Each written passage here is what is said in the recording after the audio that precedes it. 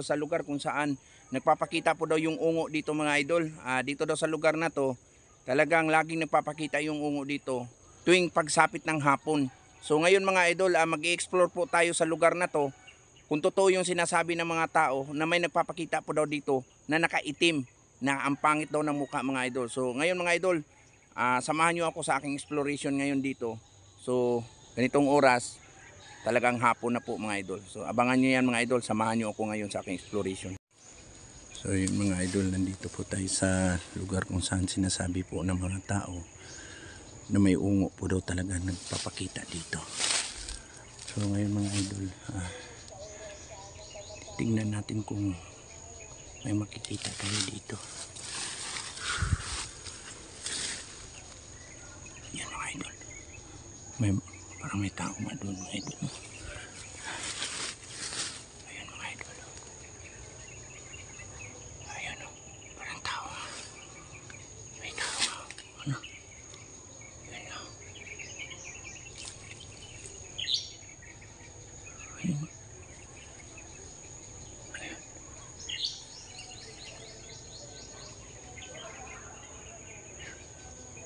Ayan mga idol. Parang tao. Ayan. Ayan mga idol. Tao. Ayan idol. o. Ayan, tumatakbo mga idol. Para nakatata niya tayo. Tingnan natin mga idol. Pipit naman ang dasa.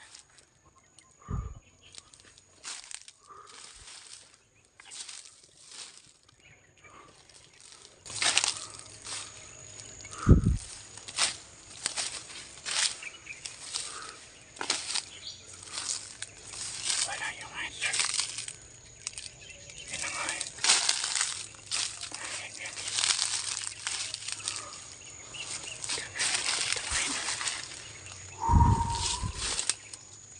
Andiyan na yung mga idol eh.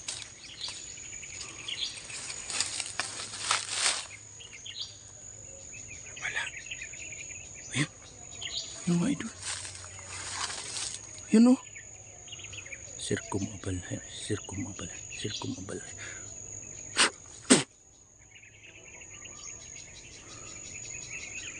Sirkum abal. Sirkum. Yan. Wala. Yan, yan.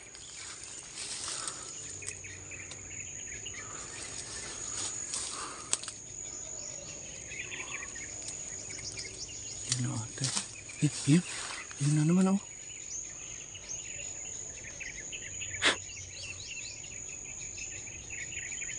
Hmm. Talagang totoo yung sinasabi ng mga idol na ungo talaga. Ungo ang papakita. Nawawala na naman.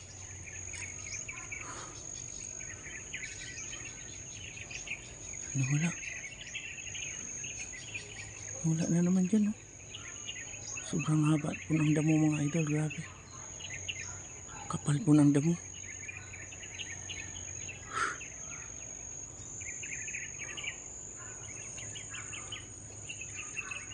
Ang papakita na naman yun.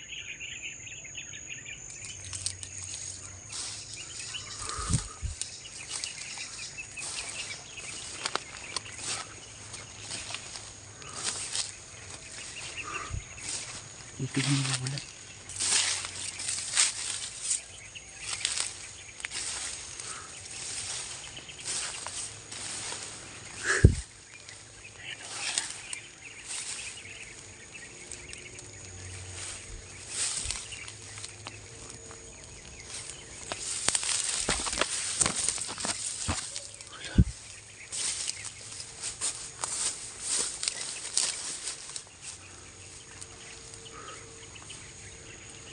Wala na.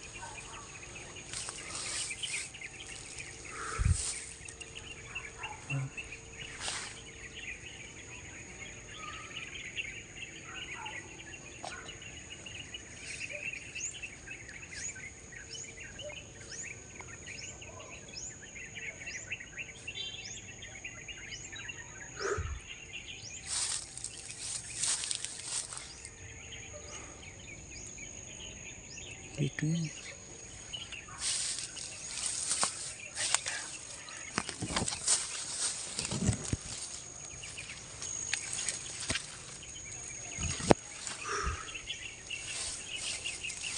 Wala yung ano. Totoo nga sinasabi nila.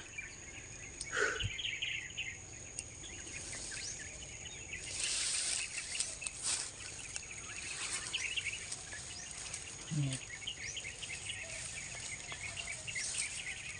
Ano to? May bahay pa naman eh. Kakaiba nga idol. ah. Talagang may ungo talaga na nagpapakita.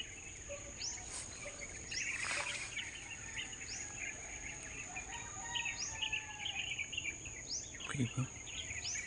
Totoo talaga yung sinasabi nila. Papakita yung ungo.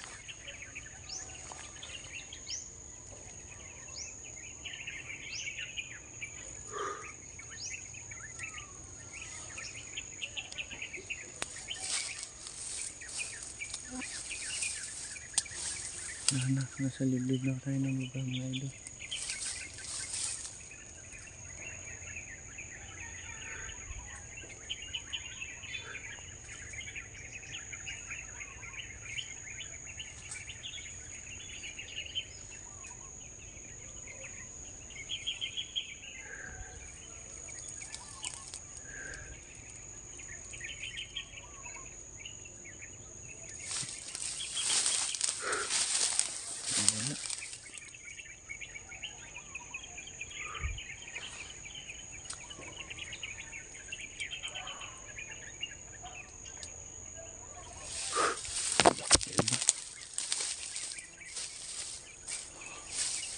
Wala na.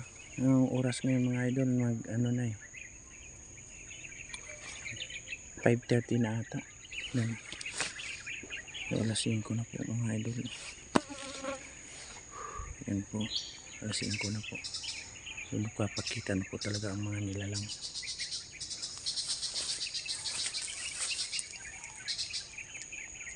Biglang nawala na po yung ungo mga idol.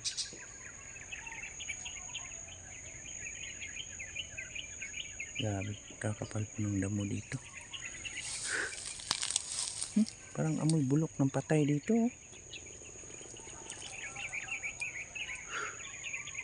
Yan.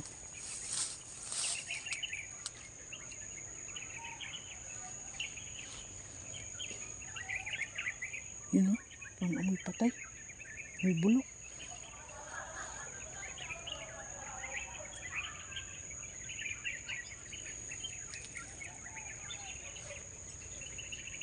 Wala na. Hindi na natin nakita.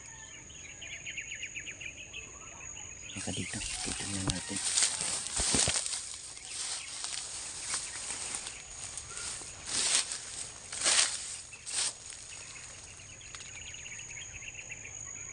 Ayan pa rin.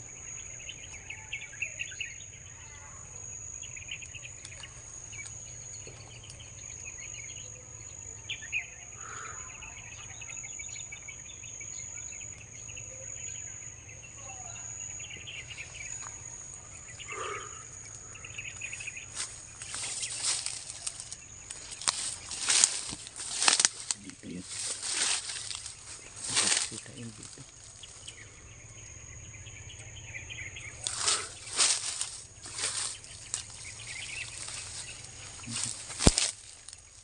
Wala na.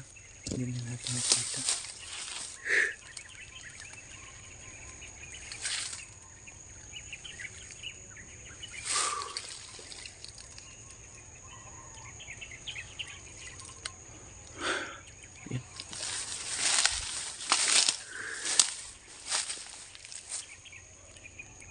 Wala mga idol. Grabe, tanggulilong talaga yung ano sinasabi nila. Tanggulilong. Nawala na eh. Saan mo naman mahahanap yan? Biglang nawawala. Baho pa dito, parang amoy bulok, amoy patay.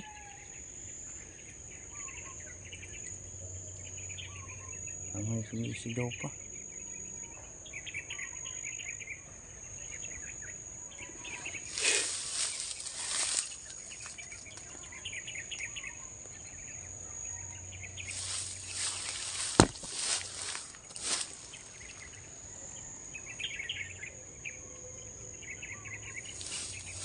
Ano?